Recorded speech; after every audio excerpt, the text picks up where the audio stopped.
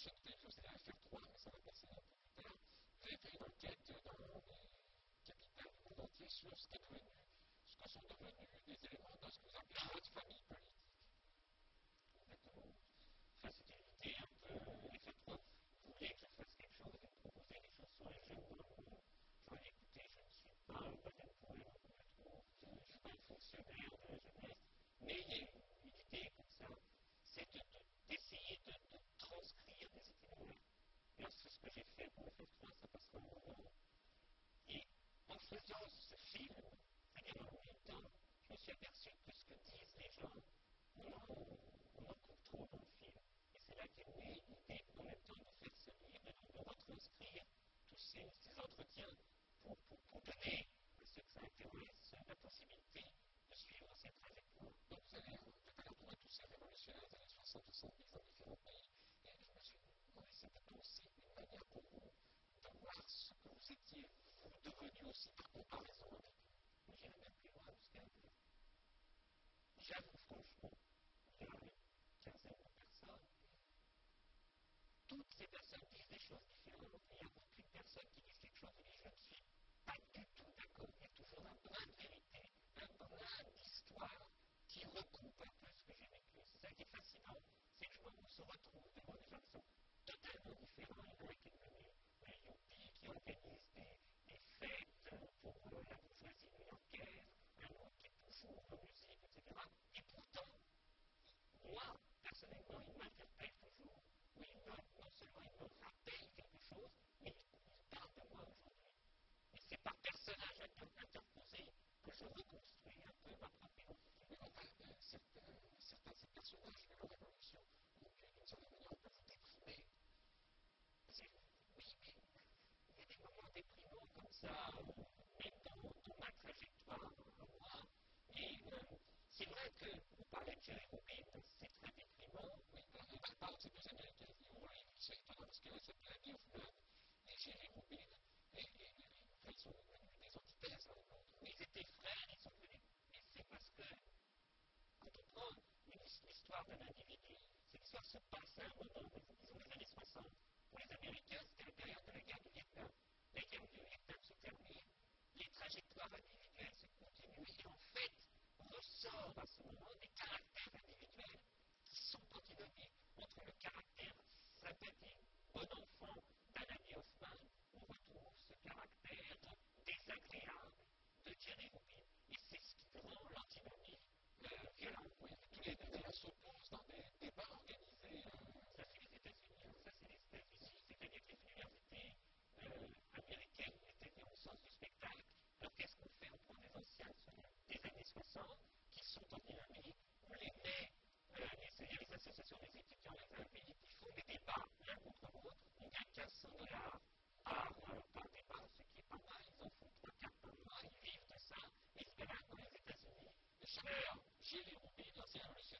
source à câble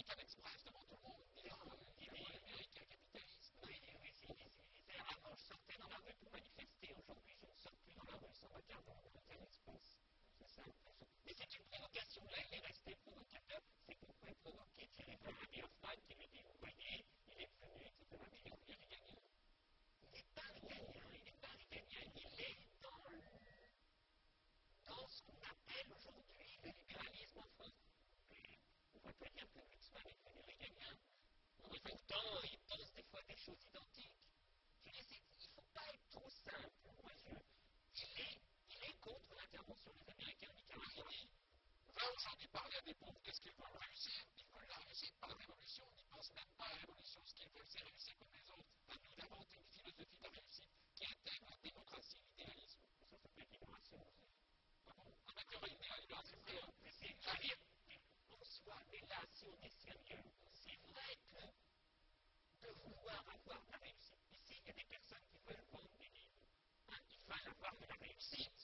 moi aussi, oui, un c'est pour ça que je dis que je ne suis pas autrement choqué qu'on dise quelqu'un veut avoir de la réussite. Et c'est vrai que dans les années 70, dans cette période anti-autoritaire, on avait peur d'accepter cette volonté de réussite, que ça devienne quelque chose d'horrible, ou que ça, ça puisse aller très loin, comme tu viens de dire. C'est vrai aussi, mais en soi, c'est un argument qu'il faut accepter. Bon, ça, je l'ai dit dans Libération, et puis Michel Chemin, qui était le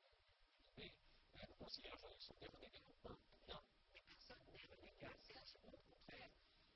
Ils ont fait des trajectoires fascinantes entre une libération, au début entre un Serge maoïste, euh, allant dans, les mines en France, porter la bonne parole ou, dans, le nord de la France et dire il faut, aller, euh, il faut aller couper la tête à la bourgeoisie, pratiquement, c'est au point très très violent. Et quand on lit aujourd'hui ces textes sur le terrorisme, c'est, c'est pas contraire, mais il y a une évolution. Et c'est ça qui est passionnant. Michel Schumann, c'est autre chose, c'est un lombard. Un lombard qui, qui, avait, qui était vraiment ouvrier et qui est devenu, à partir de la réflexion sur l'ouvrier philosophe, on n'est pas influencé par ça, qui est devenu journaliste à Libération. Mais je vois qu'il est très drôle dans le dialogue avec Michel Schumann. Il s'est dans un café, il y a une femme qui intervient, qui écoute et qui intervient, et qui lui proteste. uh,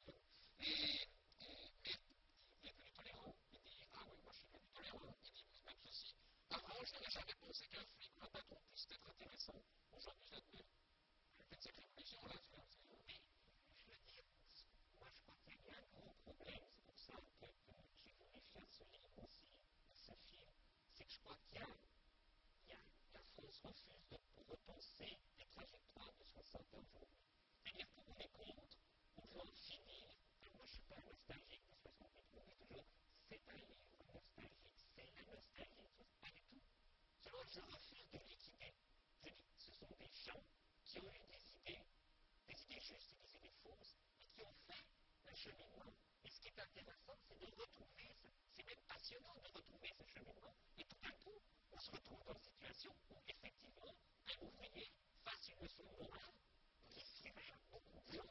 Il y a, il y a beaucoup mieux. Alfredo Serkis, au lieu de Javel, il a participé à l'enlèvement de deux ambassadeurs euh,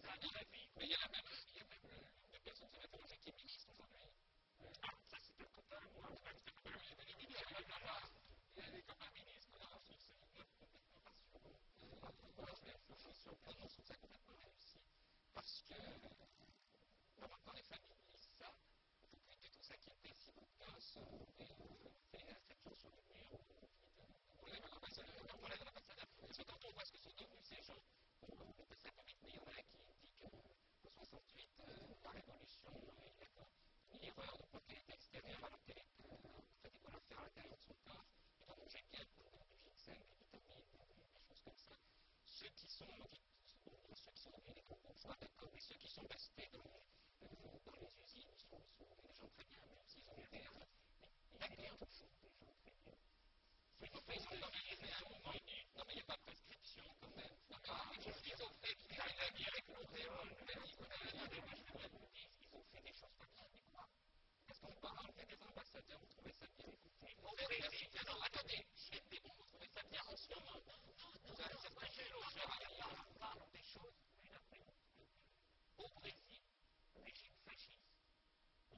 enlève un ambassadeur pour tirer des prisons des gens qui se font torturer. Je n'aurais jamais le courage de faire ce genre de choses. Pratiquement, moi, je suis pacifiste et je ne le ferai pas. Mais dans un régime fasciste, oser dire ici de notre chaise de démocrate, dans des démocraties, ce n'est pas bien. C'est une parole que moi, je ne pas prononcer comme ça. Alors, c'est pas ça, je dis pas ça, heureusement que les ambassadeurs sont là, mais contraires. Des historiques la résistance française, elle a posé des bombes, elle a enlevé des gens, elle a tué des gens. On ne va pas pleurer sur les nazis qui ont été tués. Donc je dis par là que quand on parle de ce genre de choses, et c'est pour ça que j'ai fait ce livre, j'en ai consacré toute une partie sur ce que j'appelle la guerre, sur. Et ce qui est intéressant, c'est que même ces gens, ces Brésiliens, qui ont arrivé dans une situation de fascisme, les ambassadeurs disent, c'est nous. On avait été les vainqueurs, vous êtes venus les dictateurs. Et ça, c'est ça, c'est l'honnêteté intellectuelle. L'honnêteté intellectuelle est plus forte qui gagne la guerre. Et si nous, nous avions gagné aujourd'hui, nous serons contents. C'est pas très rassurant, car si nous parlons, si les parents lisent ces choses, ils lisent par exemple qu'il est devenu pacifiste. Alors moi, je ne sais pas, vous trouvez ça rassurant, mais je lis. Le pacifisme est une forme de lâcheté, une semelle d'utopie, égoïsme, méconnaissance et tant de l'autre. Définition donnée par Jacques Chirac, citée dans le monde daté d'aujourd'hui, 12 septembre. Alors je ne trouve pas ça très rassurant si on dit qu'il est devenu pacifiste. C'est un lâche, etc., etc. Je veux dire par là, ça rassure les gens peut-être. Moi, je, je veux dire par là que ce qui est intéressant, c'est pas vrai. Les gens ne sont pas intégrés. Ce que je trouve lâche de la société, c'est-à-dire qu'une génération qui a cru dans la révolution, qui a cru dans un changement social avec des idées du 19e siècle, c'est vrai, qui ont fait une autocritique pratique et qui continuent les uns sur la politique, les autres pas, d'intégrer tout ça et de dire c'est rassurant, ils sont plus révolutionnaires, comme si cette société avait besoin d'avoir peur, au lieu de, de, discuter avec ses idées. Pour les révolutionnaires, nous avons peut-être donné un Hans Joachim Klein, euh, qui dit dans le civilité aujourd'hui, les rouges et la chevalier. Ça, c'est c'est une autre chose. Il y, a, a un droit de Carlos aussi, c'est raconté, mais c'était comment il a été exploité par l'autre, il a été pris dans des réseaux d'amitié, tout ça. Et moi, je trouve quand même que quand on regarde tous ces gens qui ont quand même beaucoup évolué, certains disent quand même contrainte un peu à ce qu'ils disaient il y a 20 ans, je trouve que vous êtes plutôt resté vous-même un peu. C'est pour ça qu'une sorte de, de confondez un peu votre, votre destinée depuis 20 ans par rapport à tout cela, et vous êtes, moi, je trouve beaucoup moins relié que tous les gens qui sont à ce niveau. Que certains, oui, oui, que certains. Euh, moi, je, personnellement, c'est vrai, je, je pense qu'il faut toujours changement social très très profond. Alors, on ne pas la démocratie, mot, d'ailleurs, vous le remarquez vous-même à la fin, vous dites, je parle pas de démocratie. Mais c'est, je crois que très tôt qu'on a découvert effectivement que l'accord des Roms en 68, c'est qu'on, justement, on ressentait un besoin de démocratie, et on avait un vocabulaire au marxiste-léniniste ou anarchiste du 19e siècle qui nous empêchait d'aller plus loin vers la démocratie. C'est pour ça que je prends l'exemple de notre papa ministre, que je dis aujourd'hui, effectivement, et c'est ce que je prétends, nous sommes vraiment des démocrates? Et il peut arriver quoi que ce soit, nous défendrons une certaine idée de la démocratie qui va beaucoup plus loin que ce que de vieux démocrates ont défendu ici. Mais alors, moi, je le regarde parce que Woodstock, c'est un des événements culturels les plus importants du XXe siècle, Woodstock, ça, et mon propre là, ça c'est incroyable. Ça c'est incroyable parce qu'on nous a sorti des concerts baignés et tout ça, quand on revoit les images de Woodstock, quand on revoit ce, cette sensation, là, effectivement, il y a une rupture culturelle et toute une génération qui a été vraiment constitutrice d'une identité. Et ça, ça doit être. Comme dit, ça, c'est pas un Woodstock. Mais en revanche, il y a 68 heures. Il y a 68 heures. Mais c'est parce qu'on arrive à parler de 68 que d'une manière négative, il y a 68